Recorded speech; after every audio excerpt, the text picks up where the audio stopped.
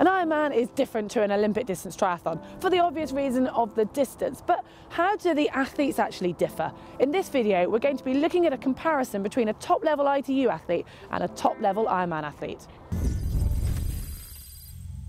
Admittedly, I have done things a little bit backwards because last year I did my first Ironman race and this year I've done my first sprint distance race.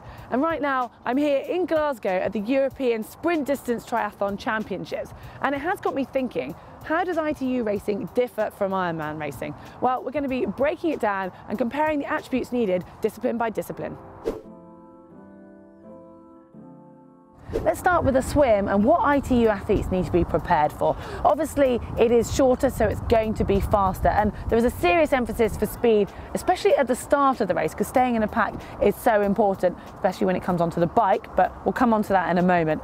And also, you are more likely to see an Australian style exit in ITU racing. That's when the swimmers have to come back out onto the land or onto the pontoon and dive back in again. So it just really requires that mindset of staying focused and being able to adapt to the situation. Ironman, on the other hand, hand is much longer, but it's not just there that the differences end. There's no team aspect to Ironman, so you're not going to have a domestique role that might be helping you in the swim. You've got to pace it in this individual effort. And having said that though, the swim percentage is much smaller, so it makes less of an impact on the race and there's more time to catch up on the bike and the run. So you'll find some of the swimmers that don't come from ITU racing might be weaker in this discipline. Moving into transition and nailing T1 as an ITU athlete is essential. All they have time to do is grab helmets and their bike and then pretty much everybody will be doing a flying mount. There's no time for stopping, getting onto your bike because the pack will have gone. Whereas long distance triathlon on the other hand is a bit more methodical. Sometimes athletes will be having to put a race belt on for the bike and you'll even see some putting on aero socks over their shoes because in the grand scheme of things it's 112 mile or 180k of biking so a few seconds in T1 don't make such a difference. Earlier I mentioned the importance of being in a pack when it comes to the swim and that is because of the bike. So in pro racing it's draft legal which means athletes can get benefit from being behind the others and in a group so aero becomes less important. And you'll see some teams even enter a domestique role and their job is to basically help their teammate to cycle faster for less effort and we'll see surges and potential breakaways. So these athletes have got to be able to react to that and change their pace and their tempo as a result. But sometimes we can see more crashes just naturally coming from group cycling.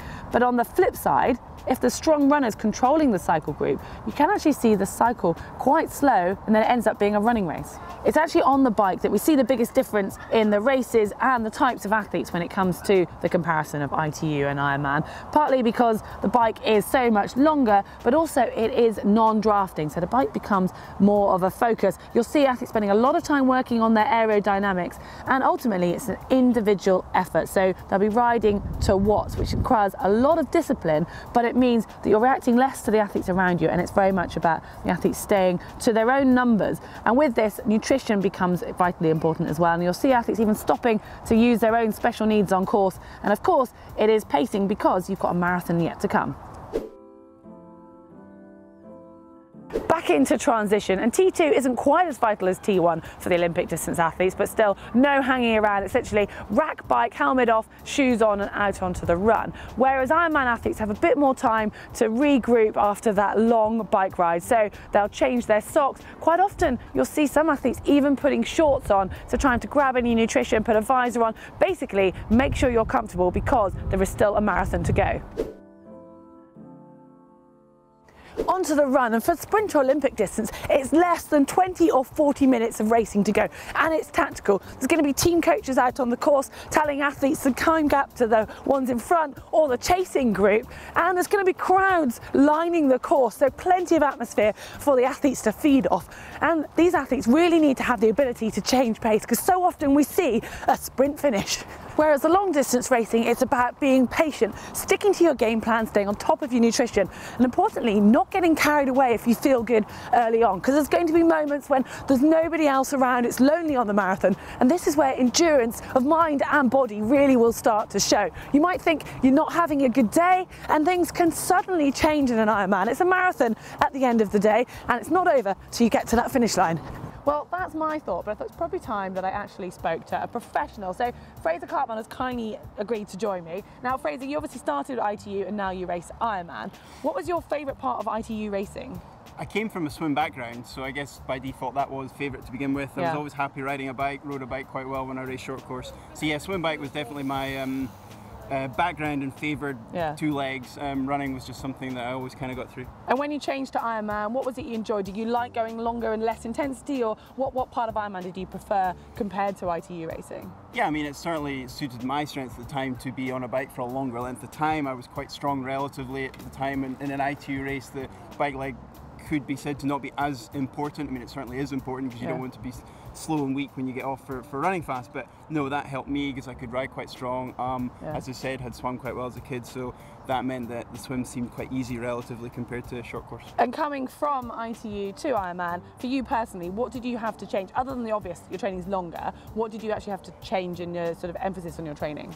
Um, so you drop the number of swims you do in a week. So let's say you'd swim daily, six, seven times a week when you're doing ITU stuff. That doesn't need to be done anymore for Ironman. It certainly helps to have a really good swim and it sets you up well, but nothing like it does in seven, um, sorry, um, Olympic where it's crucial. Yeah. So yeah, you drop the number of swims down per week and sure, just focus more aerobic bike riding versus the short, sharp, intense stuff that you really need to do for, for the um, Olympic distance. Cool. It is a natural progression for athletes to move from ITU to Ironman, just like Fraser did. And I think we're going to see more of it, as it basically means triathletes can prolong their career in the sport. But at the end of the day, what is the biggest achievement? Is it being crowned Olympic world champion in triathlon, or is it becoming the king or queen of Kona and the Ironman World Championships? I really don't know, and I want to know what you think. So do let me know in the comments section below which you think is the biggest achievement. And if you've enjoyed this and you don't want to miss any more videos from GTN, make sure you hit the globe to subscribe. And if you want to learn how to do a flying mount so you can hone that transition in, there's a video on that just here.